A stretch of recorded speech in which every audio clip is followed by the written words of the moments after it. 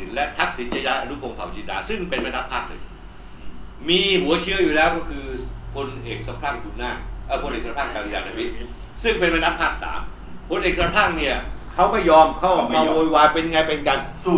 ก็เลยลงตัวพอดีเลยในการเปลี่ยนแปลง แต่พอเปลี่ยนแปลงแล้วอำมาตย์ศักดินา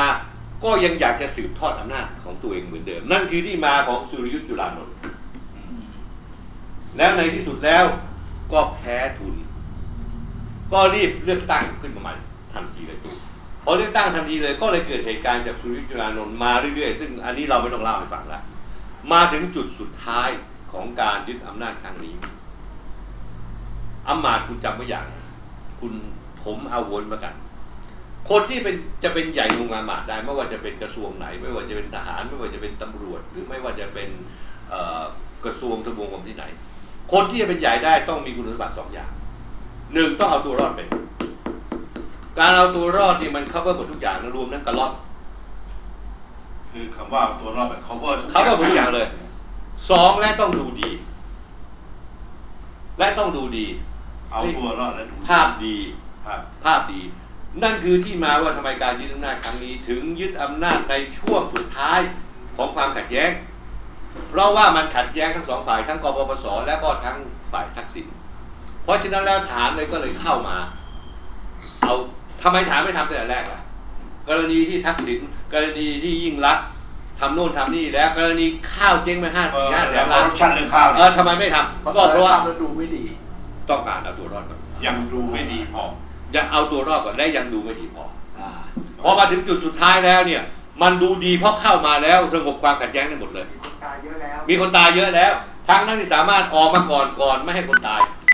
คือเขาไม่ได้มองอะไรถูกอะไรผิดเขามองว่าถ้าเขาทำแล้วเขาได้อะไรเขามองตรงนี้ แต่เอาละเขาทำแล้ว แต่ในย่านที่สังเกตอย่างตั้งแต่เขาปฏิวัติมาจนถึงวันนี้เนี่ย สังเกตอย่างไหมวันนี้เขาเริ่มดึงอำนาจคืนแล้วจากนักการเมือง การแต่งตั้งทั้งหลาย มากลายเป็นอำมาตย์นะตอนนี้พูดอีกในหนึ่งก็คือว่าคอรมอชุดนี้สะท้อนให้เห็นอำนาจ ทางราชการที่แต่ก่อนอยู่ภายใต้นักการเมืองถูกดึงขึ้นมาฝ่ายราชการหมดเลยแล้วนักการเมืองก็นักการเมืองก็ดิ่งไปเรื่อยๆเพราะฉะนั้นนักการเมืองที่จะเกิดขึ้นในอนาคตของเขานี่ต้องเป็นนักการเมืองที่เขาออกแบบ ที่เขาออกแบบ ส่วนจะประสบผลสำเร็จหรือไม่นั่นอีกเรื่องหนึ่งที่น่าสนใจทำไมเขาถึงเล่นนโยบายปลองดอง แล้วเข้าไปจัดการทักษิณเหตุผลที่เขาไปจัดการทักษิณเนี่ย เนื่องจากว่าเขาต้องการให้ดูดีไง เพราะถ้าเขาจัดการทักษิณเท่ากับเขามาเข้าข้างกบพศมันปรองดองกันมันควเออเหมือนเทคซ้ายเหมือนเทคซ้ายเพื่อนแล้วเขาต้องดูดีเฮ้ยดูดีนะ แม้กระทั่งเสื้อแดงก็ยอมรับรปปสบางคนก็ยอมรับ พันธมิตรบางคนก็ยอมรับ นั่นคือที่มาของมันยุไม่สังเกตเหรอเรื่องนี้เนี่ยที่การที่พอปฏิวัติปั๊บเนี่ยเขาจัดการโน่นนี่นั่นได้ทันทีเลยนะทันทีเลยนะเขาไม่ได้เพิ่งทำนะแสดงว่าเขาเตรียมการมาเกือบปีแล้ว เพียงแต่ว่าจังหวะที่ดูดียังมาไม่ถึงยังยังไม่ลงล็อกว่างั้นยังไม่ลงล็อก ยังไม่ลงล็อกตอนนี้ลงล็อกแล้วก็คือว่าตอนนี้ประเทศไทยคอรมอชุดนี้คือ การใช้อำมาตย์เป็นตัวผลักดันเดินมันให้ประเทศเดินหน้าต่อไป ทีนี้อำมาตย์เนี่ยมีปัญหาอยู่อย่างอำมาตย์ทำงานไม่เป็นอำมาตย์จะไม่รู้เรื่องของข้าวของเป็นยังไง ไม่รู้เรื่องพลังงาน ไม่รู้เรื่องโครงสร้างทุกอย่าง อำมาตย์ต้องพึ่งใครอะหนึ่งต้องพึ่งข้าราชการประจำเพราะฉะนั้นแล้วนโยบายจากนี้ไปการเดินหน้าต่อไป คือเดินตามธรรมเนียมวัดปฏิบัติของข้าราชการประจำทั้งหมดข้าราชการจะไม่มีความคิดสร้างสรรค์ใหม่จะไม่มีการไม่มีเปลี่ยนโครงสร้าง creative ไม่มีครีเอทีฟอะไรทั้งสิ้นเลย ก็คือพูดง่ายว่าถอยหลังเข้าคลองละเพราะฉะนั้นสังเกตอย่างว่ารัฐบาลชุดนี้จะเน้นอยู่เรื่องเดียว ซื่อสัตย์ซื่อสัตย์ซื่อสัตย์แต่ขณะเดียวกันการบริหารประเทศยุคนี้ไม่เหมือนสมัยจอมพลสฤษดิ์ธนะรัชต์ ยุคนี้มันเป็นยุคที่ดิจิทัลข่าวสารข้อมูลมันมีหมดมันมีการลงทุนในเมืองไทยมันมีการเล่นหุ้นกันโน่นนี่นั่นโซเชียลมีเดียโซเชียลมีเดียสี่ล้านคำถามเขาเอาความรู้ตรงนี้มาจากไหน เขาต้องเอาความรู้ในแก้ปัญหานี้มาจากพวกเขาเอง เพราะพวกอำมาตย์ทั้งทั้งหลายเนี่ยที่นั่งอยู่ในคอรมอแล้วแต่มีพรรคพวกตัวเอง ไปเช็คได้เลยไม่ว่าจะเป็นผบ.ตร. ผบ.ทอ. ผบ.ตร. ผบ.ทบ.แต่ละคนจะมีนักธุรกิจของตัวเอง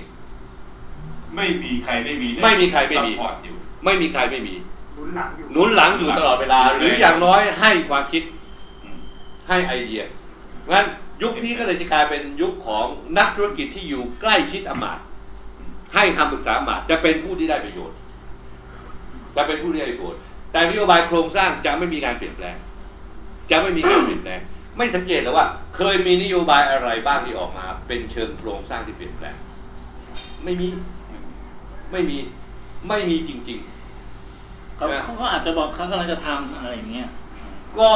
ผมมาฟังนโยบายนะไม่มี นโยบายที่จะทำเนี่ยนะมันต้องประกาศมาตั้งนานแล้วสามารถทำได้ เพราะว่าการมีอำนาจเบ็ดเสร็จเด็ดขาดและมีอำนาจ